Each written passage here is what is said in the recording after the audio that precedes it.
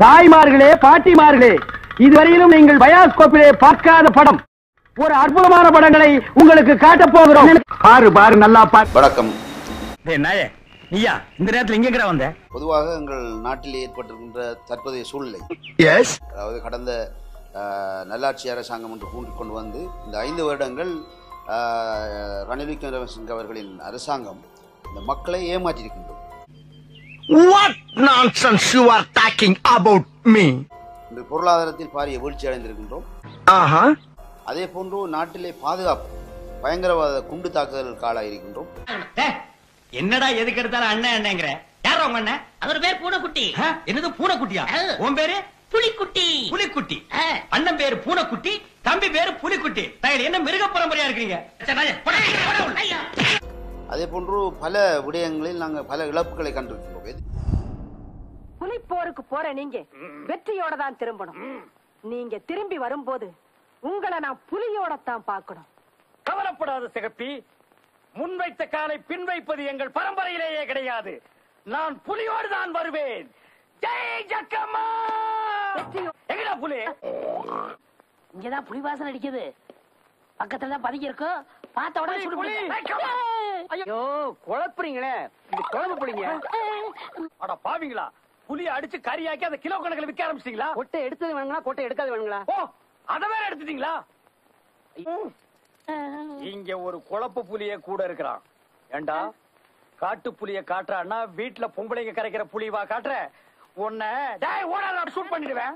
அவை மீண்டும் அந்த மைந்தையின் உடைய ராஜபக்ஷ அவர்களுடைய நிர்வாகத்தை கொண்டு வருகின்ற பொழுதுதான் இந்த நாட்டிலே ஒரு சுபிட்சமான ஒரு நிலையை உருவாக்கலாம் என்கின்ற நம்பிக்கையின் அடிப்படையில் தான் எங்களுடைய தமிழரக்கிய சுதந்திர முன்னணி கட்சி வந்து அவர்களுடன் ஒரு புரிந்துணர்வு ஒப்பந்தத்தின் அடிப்படையில் நாங்கள் இன்று ஜனாதிபதி வேட்- வேட்பாளர் கோட்டாபய ராஜபக்ஷ அவர்களுக்கு ஆதரவு அளித்து வருகின்றோம்.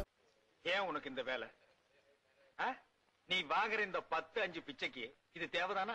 வடமானத்தை எதிர்கொண்டால் அங்கு யுத்தத்தால் பாதிக்கப்பட்ட வடுக்கள் இன்னும் மாறவில்லை. இன்னும் அந்த மக்கள் ஒழுங்கான முறையில் மீள்குடியேற்றப்படவில்லை. ஆஹ் மீள்குடியேற்றி இருக்கின்றோம் ஆனால் அவர்களுக்கான வளங்கள் வாய்ப்புகள் வீடமைப்புகள் பொருளாதார உந்து சக்திகள் போன்ற பல விடயங்களை நாங்கள் அங்கு மேற்கொள்ள வேண்டியிருக்கின்றோம் அதே போன்று கிழக்கு மாநிலத்தை எடுத்துக்கொண்டால் இங்கு வேறு விதமான பிரச்சனையை நாங்கள் எதிர்கொள்கின்றோம். அதாவது இந்த முஸ்லிம் தீவிரவாதம். அதே போன்று முஸ்லிம் ஏகாதிபத்திய தலைவர்கள். முஸ்லிம் ஏகாதிபத்திய தலைவர்கள் இன்று தமிழர்களை குழி தோண்டி புதைக்கணும் என்ற நோக்கத்தில் இன்று செயற்பட்டு என்னது? கபாலி கானா நீ எந்த இயக்கத்துக்கு சேர்ந்தவன்? ஐயோ இயக்கமெல்லாம் கிடையாதுங்க. இந்த கூட்டத்துல இவனு நின்னா இவன் பக்கத்துல நானும் நின்னேன். நேக்கா என் கையில விளங்கையை மாட்டிட்டு உங்ககிட்டயும் மாட்டி விட்டு போயிட்டா ஐயா? அது என்ன கழுத்துல? சைலட் குப்பியா? குப்பியா? ஐயா இது வெறும் டப்பியா? நான் ரொம்ப பயந்தவங்கிறக்காக பாம்பேல ஒரு பாய் மந்திரிச்சுக்கிறேன் தாய்த்தியா அவை இன்று அவர்கள் அனைவரும் சஜித் பிரேமதாஸோட இருக்கின்றார். இன்று துவசங்க வைக்கின்ற ஹக்கீம் அவர்கள் அஹ், சஜித்தோட இருக்கின்றார் அங்கு அமீர் அலி இருக்கின்றார் அங்கு அலிஷா இருக்கின்றார். இன்று அதே போன்று வ- வடக்கிலே தமிழர்களை விரட்டி அடிக்க வேண்டும் என்று கங்கணம் கட்டி கொண்டிருக்கின்ற இனத்துவசம் பேசுகின்ற ரிஷாட் பதவி இருக்கின்றார். அவன் காதுல என்னமோ சொல்லிட்டு சத்தானே. என்ன சொன்னான்? காதுல சொன்னானா? ஐயா அவன் பூ பூன்னு நாலு தடவை ஊதிட்டு செத்தாயா? தூக்குங்கடா அவன ஸ்டேஷனுக்கு அவை இன்று அந்த அடிப்படையில் பார்க்கின்றவங்களோ அனைத்து முஸ்லீம் சக்திகளும் இன்று அவருடன் தான் இருக்கின்றது. ஆகவே அவர் வெ- நிச்சயமாக அவர் வெற்றி அடைகின்ற பட்சத்தில் இந்த கிழக்கு மாநிலத்துக்கு ஒரு ஆளுநரை நிச்சயமாக ஒரு முஸ்லீமை நியமிப்பார் அவர் அல்லது ஒரு முதலமைச்சரை முஸ்லீமாக நியமிப்பார். அதே போன்று பாரிய அமைச்சுக்களை அவர்களுக்கு வழங்குவார். அவ்வாறு வழங்கப்படுகின்ற பொழுது கிழக்கில் இருக்கின்ற தமிழ் சமூகம் ஆ, பின்தள்ளப்படுவார் அல்லது அவர்களுடைய இருப்பு கேள்குறியாகும் அவை இந்த ஜனாதிபதி தேர்தல் இன்று கிழக்கு மாநிலத்தை பொறுத்தவரையில் தமிழர்களின் இருப்பா அல்லது முஸ்லிம்களின் இருப்பா என்ற அடிப்படையில் இந்த தேர்தல் களம் மாற்றமடைந்தது?